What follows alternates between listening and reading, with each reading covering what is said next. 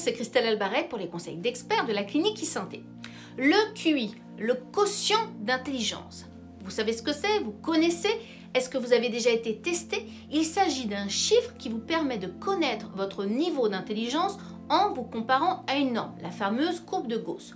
Pourtant, le QI n'est souvent qu'à 20% à l'origine de votre réussite, car un autre facteur entre en compte et il est bien plus important encore. Ce facteur, c'est l'intelligence émotionnelle. De nos jours, cette intelligence émotionnelle, elle est devenue une priorité autant chez les sportifs de haut niveau que lors de l'embauche de nouveaux collaborateurs. Et elle est aussi recherchée qu'un diplôme d'une grande école. Et bonne nouvelle, eh elle est accessible à tous. Alors, êtes-vous doté d'une grande intelligence émotionnelle? Souhaitez-vous la développer? C'est ce que nous allons voir ensemble dans cette séance vidéo. Et si vous vous sentez concerné par ce sujet, n'hésitez pas à liker et à vous abonner. Cette chaîne, vous le savez, elle vous est dédiée et elle est là pour vous, pour vous aider.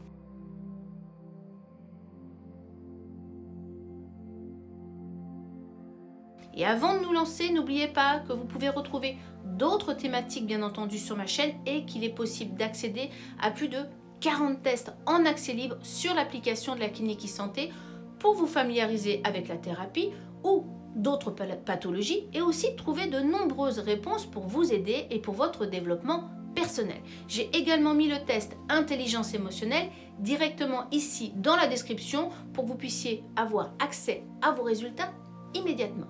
Et vous allez voir ce test, il vous apprendra beaucoup sur vous et sur votre potentiel à développer. Ça va vous plaire. L'intelligence émotionnelle, elle va mêler en réalité deux notions. D'un côté, l'intelligence qui désigne ici la faculté de connaître, d'analyser, la qualité de l'esprit qui comprend et s'adapte facilement et de l'autre côté l'émotion qui désigne les réactions primaires de votre cerveau suite à une stimulation intérieure ou extérieure. Une émotion, c'est par exemple la peur, la peur face à une stimulation qui pourrait être danger. Cette émotion de peur vous permet de mettre votre corps en action efficacement pour vous éviter ce danger, que ce soit à travers la fuite ou la sidération par exemple. L'intelligence émotionnelle est donc le savant mélange de l'analyse de vos émotions et votre capacité à les maîtriser. Attention, je précise que maîtriser ne veut pas dire contrôler ou réprimer. Maîtriser veut dire utiliser pleinement le potentiel de vos émotions dans votre vie. Non seulement cette intelligence émotionnelle améliore la qualité de votre vie, la réussite de vos projets, mais elle vous aide aussi à développer de bonnes relations avec les autres, par exemple. L'intelligence émotionnelle, c'est un concept plutôt récent, on va dire, puisqu'elle a été réellement développée à partir des années 90 par John Mayer et Peter Salovey. D'autres chercheurs d'ailleurs et psychologues du monde entier s'y sont intéressés et ils ont apporté au fur et à mesure des ajouts extrêmement enrichissants. On peut parler notamment de Daniel Goldman, qui est un spécialiste du comportement de renommée mondiale, qui nous dit que la partie du cerveau sur laquelle s'appuie l'intelligence émotionnelle et sociale est le dernier circuit du cerveau à atteindre sa maturité anatomique et du fait de la plasticité du cerveau, le cerveau se façonne grâce à des expériences répétées. Ce que veut dire Daniel Goleman là-dedans, c'est qu'en réalité, une partie de notre intelligence émotionnelle se trouve dans notre épigénétique, c'est-à-dire que vous portez en vous un certain bagage émotionnel dès votre naissance et que selon votre environnement ou votre éducation, vous allez activer ou non ces petites balises de votre ADN. Ça veut dire aussi que l'intelligence émotionnelle peut se développer et de ce fait, il serait même possible de l'enseigner par exemple à l'école. Quelle bonne nouvelle Être intelligent émotionnellement est donc accessible à tous. C'est un langage en soi.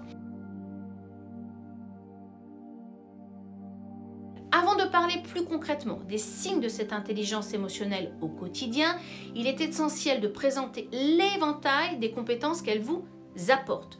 D'un côté, elle vous apporte des compétences personnelles, c'est la façon dont vous vous gérez, c'est-à-dire que vous avez conscience de qui vous êtes, vous avez conscience de votre état actuel, de vos préférences, de vos ressources et de vos intuitions, chose très importante. Vous savez également vous autoréguler, c'est-à-dire que vous avez la compétence de ne pas céder à l'impulsion en faisant appel à vos ressources intérieures. Vous êtes également capable de créer une motivation interne qui va faciliter l'atteinte de vos objectifs, de vos projets.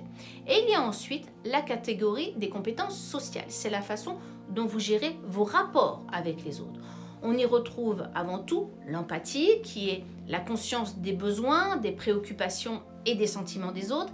Et il y a une certaine finesse sociale, sociale pardon, qui se traduit par votre capacité à produire les réponses voulues chez les autres tout en étant dans une pleine conscience de l'autre, mais aussi le respect de soi.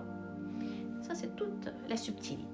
Alors, plus concrètement, voici les signes d'une grande intelligence émotionnelle au quotidien. Le premier, signe, vous maîtrisez les conséquences de vos mots et de vos actions. Si vous êtes une personne dotée d'une grande intelligence émotionnelle, vous savez très bien faire la différence entre ce qui est bien et ce qui n'est pas bien selon le contexte dans lequel vous vous trouvez et la personne que vous avez en face de vous. Vous arrivez en fait, à vous mettre à la place de l'autre, de tous vos interlocuteurs, et vous savez lire leurs émotions. Et de votre côté, parce qu'il y a aussi votre côté, vous savez maîtriser vos émotions afin d'éviter de vous laisser submerger et d'agir de façon inappropriée. Et inappropriée veut aussi dire vous oublier. Donc ne pas s'oublier. Deuxième signe, vous savez vous auto-évaluer et vous remettre en question. En effet, l'autre signe d'une belle intelligence émotionnelle, c'est connaître ses ressources, ses capacités, mais aussi ses limites intérieures. Vous connaissez vos forces, vous connaissez vos faiblesses et vous en faites un atout dans votre vie par votre capacité notamment de prise de recul par rapport à ça. Vous comprenez vos émotions, vous savez les traduire en besoin et en action. Du coup, bah, vous savez aussi ce qui vous motive, ce qui ne vous motive pas, ce qui peut vous faire consommer inutilement de l'énergie. Sais pas si ça vous parle. Vous savez comment vous parlez intérieurement et quel environnement va être favorable à votre bien-être et votre réussite. Vous allez donc arriver à vous gérer, à ne pas vous laisser entraver car vous avez appris à tirer des leçons d'expérience de la traduction de vos émotions pour apprendre, progresser et vous enrichir sans cesse. Troisième signe, c'est votre vocabulaire émotionnel qui est important. Saviez-vous que seuls 40% des personnes sont capables réellement d'identifier clairement les émotions? Le problème d'une émotion qu'on ne réussit pas à identifier, c'est qu'on ne réussit ni à la nommer ni à la traduire en réponse à mettre en œuvre. La conséquence régulière que l'on constate chez une personne qui n'arrive pas à écouter ou traduire ses émotions, c'est la somatisation ou l'incompréhension de soi et de ses besoins. Sans lecture de nos émotions, on peut dire qu'une certaine manière, on est un peu étranger à soi-même. Ça, c'est un peu à laisser cogister en soi. Du coup, ça peut aussi bah, vous pousser à, faire mauvais choix, du coup, ou à refuser d'en faire même. Lorsque vous avez une grande intelligence émotionnelle, vous êtes capable de lire, verbaliser avec précision l'émotion que vous ressentez. Ça peut être par exemple, plutôt que de dire bah, je suis énervé, vous allez dire je me sens frustré à cause de telle chose. Ou encore, au lieu de dire je vais mal, vous allez pouvoir préciser et dire je suis déprimé parce que j'ai vécu ceci, je suis actuellement dans un deuil. Donc, vous précisez les choses en verbalisant l'émotion de façon distincte. Voilà, voilà pour les principaux signes d'une belle intelligence émotionnelle. Est-ce que vous avez reconnu certains signes pour vous? N'hésitez pas à le partager avec la communauté de la clinique e-santé directement ici dans les commentaires. Il existe cinq clés pour développer votre intelligence émotionnelle. C'est un modèle inventé par le psychologue Mark Brackett. La première clé est d'accueillir ses émotions pour gérer toute émotion, il est essentiel de la reconnaître et donc pour cela, cela passe d'abord par l'observer, car même si cela peut sembler facile, il est en réalité fréquent d'ignorer ou de refouler ses émotions de façon totalement inconsciente. Par ailleurs, on peut dire qu'il est pas rare qu'une douleur inexpliquée soit le résultat d'une somatisation. Somatiser, ce n'est rien d'autre qu'intérioriser une émotion, la renier au point que le corps vous la fait ressentir, vous la rappelle à vous-même sous la forme d'une douleur et ça peut aller jusqu'à déclencher des maladies et parfois des maladies graves. Une maladie psychosomatique correspond à un désordre avec un point de départ somatique ou physique mais modifiée ou aggravée par des facteurs psychologiques et émotionnels comme le stress ou tout autre événement de vie perturbateur pour vous. Somatisé, ça peut donc être un mal de, tête, des douleurs abdominales, mais aussi ça peut être aussi le déclenchement d'un ulcère à l'estomac, de l'asthme, une dépression, des allergies et encore bien d'autres. Lorsque vous ressentez une émotion, posez-vous donc deux questions. La première, cette émotion est-elle agréable? Et la deuxième question, quelle est l'énergie liée à cette émotion? En identifiant dans laquelle de ces catégories se situent vos sentiments, vous jetez les bases pour composer avec elles, les écouter pour répondre à vos besoins. La deuxième clé, c'est de comprendre ses émotions et pour cela, apprendre à décrypter, décoder son émotion est une bonne habitude à prendre et ça s'apprend. Demandez-vous pourquoi est-ce que je me sens ainsi? Que vient-il de se passer? Qu'est-ce que je faisais avant que ça arrive? Prenez le temps d'observer cela. Que s'est-il passé hier soir ou ce matin pour que je ressente cela? Ou alors est-ce que ça fait écho à quelque chose d'antérieur? Quel souvenir est apparu? Et la petite astuce pour que ce soit efficace, c'est de décoder tout cela sans juger votre émotion. Juste observer. Un décryptage n'est absolument pas un autoprocès, alors faites-le avec bienveillance. La troisième clé, c'est de nommer ses émotions. Trouver le mot juste pour décrire une émotion n'est pas toujours évident, je le sais, mais justement, beaucoup d'entre nous ont un vocabulaire émotionnel relativement limité et ce n'est absolument pas de votre faute. C'est avant tout le résultat d'une éducation, d'un environnement. L'intelligence émotionnelle est clairement, comme je vous dis, une langue qui s'apprend, comme l'anglais. Par exemple, beaucoup de personnes diront qu'elles vont bien ou qu'elles ne vont pas bien, mais sans développer réellement. Comme on a quelques mots de vocabulaire en anglais, par exemple. D'autres encore n'utilisent pas du tout de mots désignant des émotions et diront qu'elles sont au top ou qu'elles sont fatiguées. Ce sont des personnes qui, par exemple, vont préférer les métaphores. D'autres pourront aller plus loin, disons qu'elles sont tristes ou en colère ou effrayées. Alors, elles réussissent à mieux identifier et nommer quelques émotions sans difficulté. Pourtant, en réalité, il y a des milliers de mots pour décrire les émotions et il est essentiel d'avoir un vocabulaire précis, car savoir exactement quels sentiments, quelles émotions nous éprouvons peut donner des indices sur la façon de les gérer et de répondre à nos besoins. La quatrième clé, c'est d'exprimer ses émotions lorsque c'est approprié. La capacité d'exprimer les sentiments signifie de savoir comment et quand exprimer nos émotions selon le contexte et les gens avec qui on est. La cinquième clé, c'est de réguler vos émotions. Que l'on choisisse ou non de les exprimer, les émotions, elles ont clairement un impact sur nous. Réguler, c'est les gérer de manière à atteindre au mieux nos objectifs personnels et professionnels et du moins empêcher que les sentiments n'interfèrent avec eux. Cela ne signifie certainement pas qu'il faille ignorer nos émotions, pas du tout, c'est même tout le contraire. Il s'agit plutôt d'apprendre à les accueillir, les accepter et à les traiter un par un avec sagesse. Jamais les refouler. Voilà pour les clés. J'espère qu'elles vous seront utiles. Pensez-vous en avoir d'autres? D'ailleurs, si vous en ressentez besoin, n'hésitez pas à demander ici conseil à l'un de nos psychologues e-santé. Sachez qu'ils sont ici et ils pourront vous éclairer. Le saviez-vous? Connaissez-vous la théorie des intelligences multiples? Dans les années 80, Howard Gardner est sorti des sentiers battus en exprimant son idée. Pour lui, notre mental ne se compose pas d'une seule capacité appelée intelligence, mais de plusieurs capacités qui travaillent ensemble. Ces capacités, jusque-là, avaient été clairement ignorées. Selon ce psychologue des États-Unis, il existe huit capacités mentales à la base de la théorie des intelligences multiples. Gardner, il affirme qu'il pourrait bien y en avoir d'ailleurs bien plus, mais qu'elles n'ont pas encore été toutes découvertes.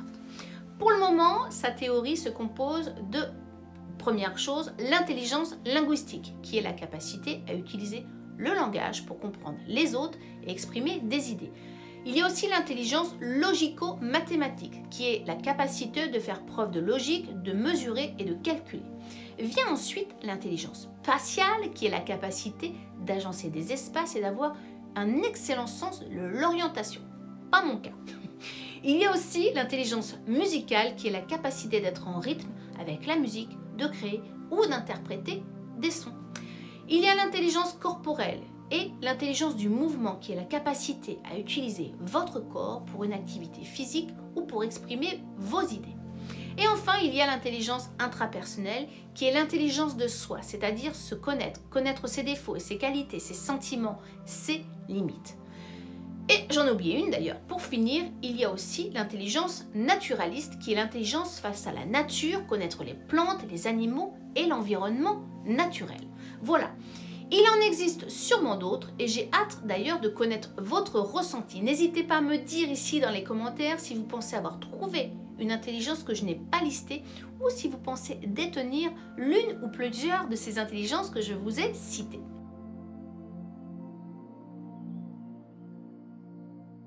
Conseil d'expert, l'intelligence émotionnelle au service de votre carrière. Au travail, l'intelligence émotionnelle est très importante. Une carence en compétences émotionnelles de la part de votre patron, par exemple, va pouvoir nuire à la santé de l'entreprise, la performance et le bien-être de l'ensemble des salariés. Je pense que là, j'ouvre un peu des portes ouvertes. Et il faut savoir qu'une mauvaise gestion des émotions risque aussi d'avoir des impacts sur les décisions prises. En effet, lorsque nous sommes sous l'emprise de fortes émotions, notre capacité à prendre de bonnes décisions est très limitée. Pourquoi? Parce que notre jugement, eh bien, il est biaisé. Par ailleurs, on va dire que les gens plus compétents émotionnellement sont plus aptes à décoder les émotions des autres et donc plus aptes à mieux y réagir.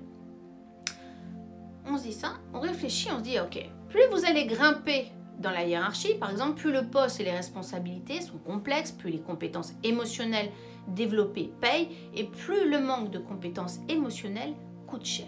Là aussi, je pense que ça vous fait cogiter. En effet, une certaine intelligence émotionnelle est très recherchée pour les postes à responsabilité qui impliquent en réalité de nombreux contacts humains. L'intelligence émotionnelle est aussi votre plus grande allié pour valoriser votre CV. C'est ce qu'on appelle les fameux soft skills ou compétences douces en français.